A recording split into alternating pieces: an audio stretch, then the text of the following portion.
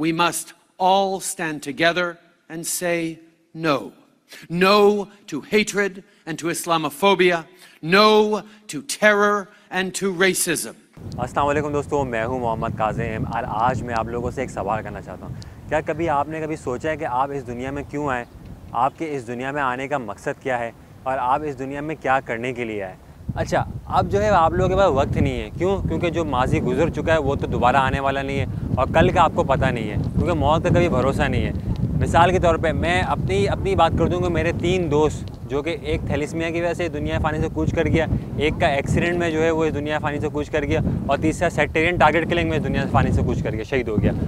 تو اب ہمارے پاس وقت نہیں ہے۔ تو اس کا مطلب یہ ہوا کہ جو رائٹ ناؤ جو ابھی ہمارے پاس جو وقت موجود ہے، وہی ہمارے لیے غنیمت ہے۔ اسی میں ہی ہمیں اب، ہمیں سوچنا ہے۔ سب سے پہلے آپ لوگ اپنے آپ سے سوال کریں کہ اگر میں اس دنیا میں آیا ہوں اور میں اس دنیا میں کوئی مقصد لے کے آیا ہوں، تو سب سے پہلے آپ سوچیں کہ میں اس دنیا میں آیا ہوں تو میں اس دنیا کا ایک کارآمد حصہ ہوں یا نہیں ہوں؟ یہ جو دنیا ہے، جو ایک چلتی ہوئی گاڑی کی مانند ہے، میں اس کا جو ہے نا ایک بہترین بہترین انپٹ ہوں یا نہیں ہوں؟ یعنی کہ میں اس میں ہر لطف پیدا نہیں کر رہا ہوں دنیا کے اندر لوگوں کے لیے، اپنے لیے، دوسروں کے لیے۔ یا یہ ہے کہ میں جو ہوں، وہ اس کے اندر کچھ کنٹریبیوٹ کر رہا ہوں تاکہ آنے والے لوگ اس کے اندر جو ہے فائدہ اٹھا سکیں۔ تو سب سے پہلے آپ کو یہ سوچنا ہے کہ اگر آپ اس دنیا میں آئے ہیں تو اس دنیا کا ایک اچھا حصہ ہے یا نہیں ہے؟ اب آپ لوگ اپنے آپ سے ایک دوسرا سوال کریں۔ جس طریقے سے آپ کو اس دنیا میں رہنے کا حق ہے، آزادی کے ساتھ، بغیر کسی غلامی کے، تو اسی طریقے سے یہ حق آپ لوگوں کے، دوسروں کے پاس بھی ہونا چاہیے۔ اب سب سے پہلے آپ کیا کریں کہ اپنے اوپر جو مذہب کی جو زنجیر ہے نا، وہ نکال کے تھوڑی دیر کے لیے اپنے سائڈ پہ رکھ دیں۔ اور یہ سوچیں کہ جس طریقے سے آپ کو اس دنیا میں رہنے کا حق ہے، تو دوسروں کو بھی یہ حق ہونا چاہیے۔ اگر یہ اگر یہ حق دوسروں کو نہیں ملے گا، تو یہ دنیا کا نظام تباہ و برباد ہو جائے گا۔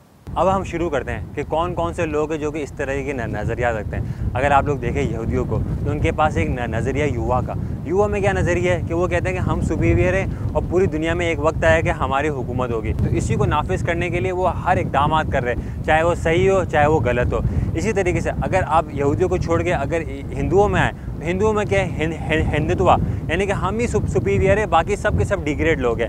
اور اس میں بھی اگر آپ ہندوؤں میں بھی دیکھیں تو ہندوؤں میں برامن دلت ہے تو دلت جو ہے وہ نچلی کلاس کے لوگ ہیں، نجس لوگ ہیں، ان کو کوئی ہاتھ بھی نہیں لگاتا ہے۔ اگر آپ یہودیوں کی نظر سے عیسائیوں کو دیکھیں تو وہ یہ کیا کہتے ہیں کہ بھائی وہ لوگ وہ جو نبی آئے تھے، حضرت عیسیٰ علیہ السلام، وہ جھوٹے نبی تھے۔ اور جھوٹے نبی کی جو فالوور ہیں، وہ سچے تو ہوں گے، وہ بھی جھوٹے ہی ہوں گے۔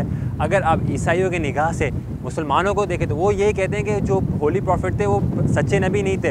تو سچے نبی کی قوم جو ہے وہ سچی تھوڑی ہوگی، وہ بھی جھوٹی ہی ہوگی، ایسی بات ہے۔ اگر آپ مسلمانوں کی نگاہ سے، یہودیوں کو دیکھیں، عیسائیوں کو دیکھیں، تو وہ یہ کہتے ہیں کہ یہ تو سچے نبی تھے، حضرت عزیر، حضرت عیسیٰ علیہ السلام۔ لیکن اب جو ہے وہ ان کے اندر گمراہی آ چکی ہے اور انہوں نے اپنی کتاب میں تحریف کر دی ہے۔ تو یہ بھی لوگ گمراہ ہو گئے۔ تو اب میرا کہنے کا یہاں پہ صرف اور صرف سمپل سا مقصد ہے، اگر آپ اس دنیا کے اندر آئے ہیں تو کوئی نہ کوئی مقصد لے کے آئے ہوں گے۔ تو سب سے پہلے وہ مقصد تو وہ بات کی بات ہے۔ سب سے پہلے آپ اس دنیا کے جو تقاضے وہ تو پورا کریں۔ یعنی کہ اس دنیا کے تقاضے کیا ہیں؟ جس طریقے سے آپ کو زندہ رہنے کا حق ہے، اسی طریقے سے دوسروں کو بھی زندہ رہنے کا حق ہے۔ جس طریقے سے اگر اگر آپ فرض کریں، اگر آپ یہ کریں گے، ہمارے علاوہ سب کے سب کافر ہے سب کے سب مرتد ہے سب کو سب سب کو قتل کر دینا چاہیے۔ کسی کو زندہ رہنے کا حق نہیں ہونا چاہیے۔ جس طریقے سے تمام اسکولز آف تھاٹس میں سب کے نظریات موجود ہیں، ان کی کتابوں میں تمام چیزیں موجود ہیں۔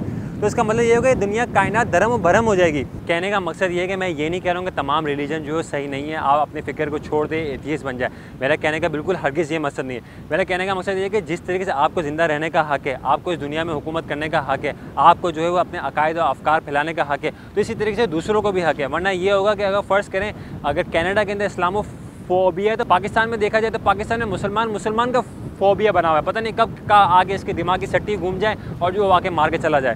اور اسی طریقے سے اگر ہندوستان میں چلے جائے تو ہندوستان کے اندر ہندو ہندو فوبیا ہے۔